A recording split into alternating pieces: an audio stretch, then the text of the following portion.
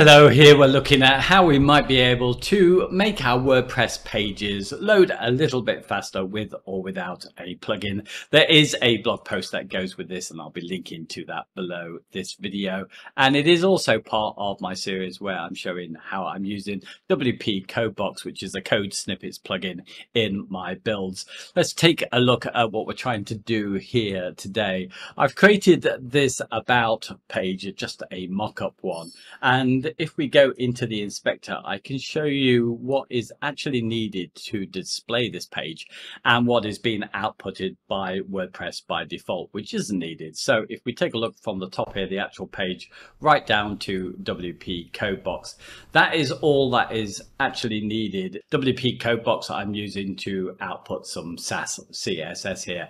Everything below that is the defaults that come from WordPress, which in this case isn't needed to display this page. So I'd be looking to see what I can sensibly remove. And obviously there's a lot of considerations with this because this might be needed in other places. But as you can see here, this is the uncompressed byte. So it's a little bit exaggerated, but you can see that what I actually need is much less than what is getting outputted by default. So want to do something about that. And I'm going to start with the first thing, which I kind of mentioned in my last video. So I'm going to repeat some of this, but it's from a different point of view. So I'm looking first at the CSS that Gutenberg or the block editor outputs by default. And we can see it is, it's obviously something that's getting loaded to the head. So it is like most of these things here in Google's terms, a render blocking resource, something that Google PageSpeed Insights will flag up. And it's uh, 103 kilobytes, but it's not just that as well. There are some inline styles which go with this, and I'll just quickly cover those here. So if I go past this, there's the style sheet that's added. And then we've got these inline styles which go down here, then another batch as well for global styles. And then in addition to that, we have another batch of code here, which is blank SVGs. And they're really not needed on this page where I'm using a page builder. So it's absolutely unnecessary. So I want to remove this. Now, I mentioned this in my last video, which was really, I guess, aimed at people who want to disable Gutenberg. And I was talking about a better way. So you remove the styles, which the classic editor doesn't do. A lot of people will not think they need this because they may be a common thing that I see is they're using a page builder on their pages and they want to keep the block editor for their posts. And I talked in that about another plugin, a great plugin called Disable Gutenberg by Jeff Starr. And I could have implied in that video, and in fact, I wasn't too sure myself that this might solve the problem with the styling. What it does above the classic editor plugin is that it does remove styles, but it does it globally here. So there are some conditions, let's have a look at this, where you can decide I'm not going to have Gutenberg running on my pages, but I will have it on my posts. But when it comes to the actual styles themselves, they're global so you you would you have to totally disable them for the whole site or uh, you can't do that just by posts or pages and there isn't as far as i know a plugin that will allow us to just disable those styles conditionally. So you're really left with the option of either taking the kind of script that I've put over here and then writing your own conditional so this shows where you need it to do, but if you're using the WP Codebox plugin, it makes it so much easier. So even someone like me can do this. So what I've done is I've taken this script here. It's just, it's not disabling Gutenberg. It's just removing those styles from the front end. And what I've done, I'm in that now. I can go to the conditions builder and I can pretty much set up any type of condition. I can just have this script run on individual pages. But here I've gone for a more common scenario where I've set it to current post type is not a post. So this script won't run where there are posts, but everywhere else the script will run and disable those styles. And I can show you this in action. So let me just turn this on. It's been used on the site that I'm showing you on the front end. And if let's go here to the source code first, and we'll go to a section where there's quite a lot of the inline code there. And if I do a refresh, we should see that this all disappears and it has. Yeah, this stuff is just what I'm going to talk about next, which is the emoji stuff. And we should see it disappear from here. So I'll just refresh here and there it's gone. So that's great. And let's just check the conditions are working okay. I'll refresh that as well. And we'll get up the source code for this particular post where it should still be running okay. We should see the styles. And we'll go to source code. And there we are. There's the external file and there's all the inline stuff. So that's worked. So I think, you know, that's a pretty quick win. Let's now talk about emojis next. So that's the next thing I want to remove. I always remove this. And I think this works differently depending on the device. But what we're seeing here is that it's, it's outputting this JavaScript file, a very small one for emojis. And then we've got another one for tweet emojis emojis. I don't even know what that is, but there we are. So pretty much 40 KB combined on this. But I took a script which I'm using to disable this and the person who I took that from pointed out something which I, I think is worth mentioning.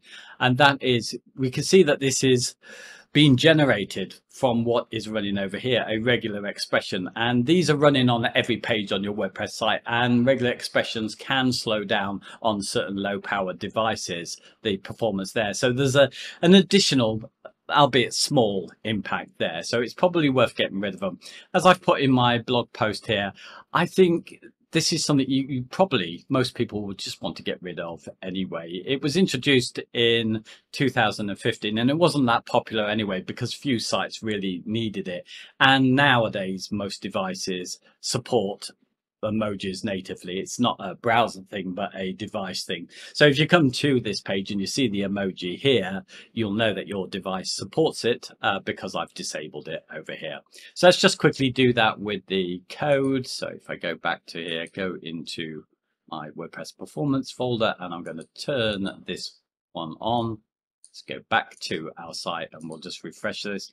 This is global, so we should see these two disappear. Now and I just love watching that happen. So that's it. We've got rid of those. Now, if you don't want to use a code snippet, then there is a plugin for this, pretty good plugin seems to be well supported, which does exactly the same thing. One th really interesting thing about this, I run WP Hive here through an extension here to give me what that site does. It's a service which runs these automatic tests on plugins, really to see the kind of back-end resources they use and look out for other errors with plugins. You have to be careful about how you interpret it, but it's quite useful. And one of the fascinating things about this is that with the plugin, when you go and look at the results of this one, it's the kind of reverse to what we expect with a plugin. We expect them to weigh down our sites. In this case, we go into minus, so it makes your uh, site lighter, at least for a logged in user there on that. Okay, so that's that. Let's go and take the next one now where I want to get rid of jQuery migrate. This is something, again, which I just do by default. So here it is. Again, it's another, because of the way that WordPress works, it comes bundled with jQuery.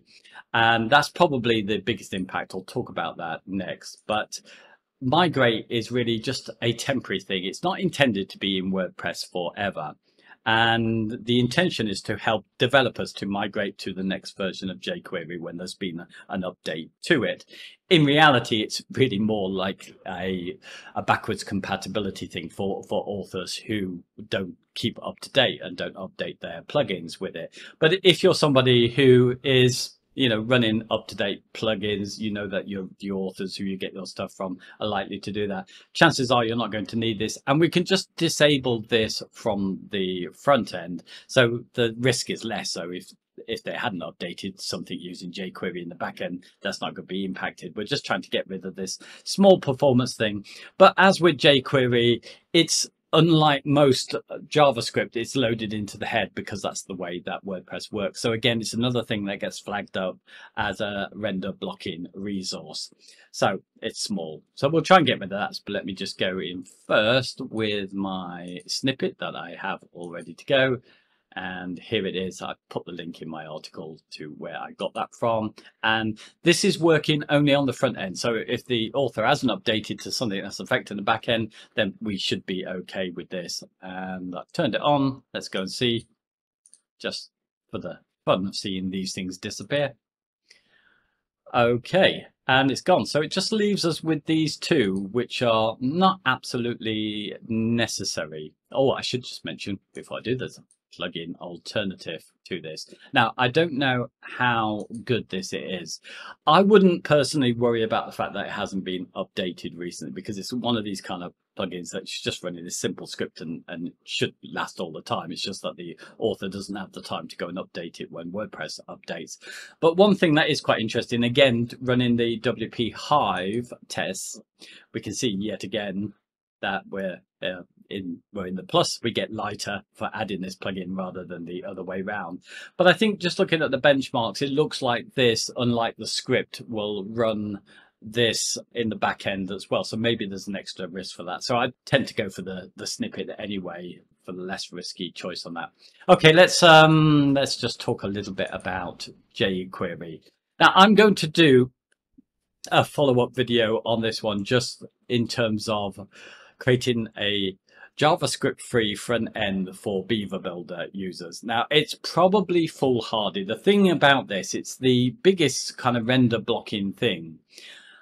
But so much of WordPress relies on it. So many plugins do. So a contact, I think there's only contact form seven, which has removed jQuery quite recently. And I think, you know, some other issues have come out of that as well. The rest of them pretty much rely on it. So it's even if you do kind of try and remove it here, it's likely to get put back by the plugin uh, on those particular pages at least. And there's some real dangers with it on my theme. If I go to the mobile view, the little drop down menu for that one is powered because it's working on jQuery and that's often the case. So I'll talk about this in another video related to Beaver Builder. I mean, you might want to watch it just for the interest anyway, but I think few people will. So I can't really cover that there, but yeah, I've included the script just to remove that. And obviously it removes a lot. It does seem a little bit unnecessary to me. And it is interesting that a lot more voices are talking about the fact that it's not needed in WordPress. And you'll notice that the default themes, I think since 2020, but certainly the 2022 default WordPress theme doesn't include it. So it's jQuery free for those. Okay, um, and I'll just quickly mention this one, which I wouldn't remove. You could simply remove it. I haven't even included the script to do that one, and there won't be a plugin because when that's compressed, that's probably going to go down to one kilobyte. And it's a simple script, which is quite useful, which really effectively just says, have you loaded those images yet before you can move on? It's just a helpful thing. So I think that's removed all I'd want to remove, although in the next video I shall be removing the jQuery from this particular site itself. Okay, there are a couple of other things that uh, might help with performance, but they're mostly associated with security.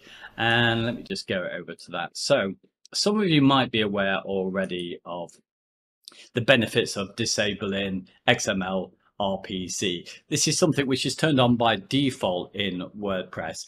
And it can be useful if you're, uh, say you want to send by email a blog post to be published. Most people aren't doing that kind of thing. And it's another way in for hackers. And because it's constantly attacked this, it's it can slow down your performance so it's probably worth doing there is a plugin i think mentioned in this article which i'll be linking to anyway so you can go search that out but what i would do is what they show in here, I would add this little script here to all of my sites in the .ht access file there. So that's how I deal with that. But why I wanted to mention it, a less known thing, because the kind of Gutenberg and REST API is fairly new to WordPress, there is also the same issue coming here with front end endpoints not being needed at all. So you could just block those off or disable the REST API from the front end. Because again it's another thing where I think hackers are going to be attacking it more often.